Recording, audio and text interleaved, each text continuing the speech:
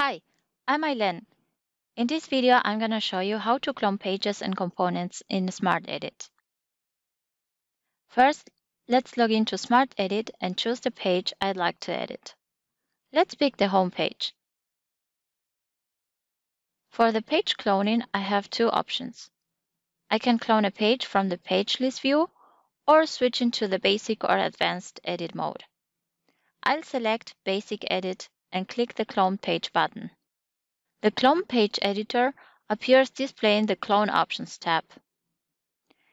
In the Display Conditions area, I'll select the type of page I want to clone.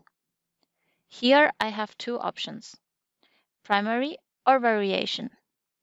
If I wanted to clone a category or product page, I could only clone a variation page, since these page types only support one primary page. If I clone a content page, like the home page, I can select a primary or a variation page. If I choose variation, I need to select the primary page I would like to associate to the new cloned variation page. I'll keep the home page as the associated primary page. Now, if I want to clone the components as well, we have two options, either to use existing components or to clone components. For this tutorial, I'll select Clone Components and click Next. In the Clone Page wizard, I'll specify the page name and the page title. Since I'm cloning a variation page, I'll click Next to continue with the restrictions.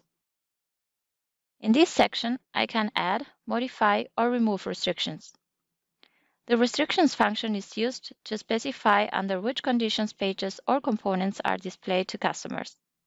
Also, restrictions are only applicable for variation pages. My new cloned page should be a summer homepage. So I'll add a time restriction. Let's say I'd like the page to be displayed from June 21st until September 21st. Once I've edited the restrictions of my cloned page, I'll click the Done button.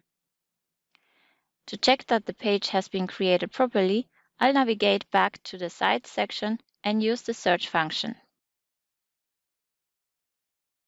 Voila, the clone page appears in the list. That's all for now. Thank you for watching.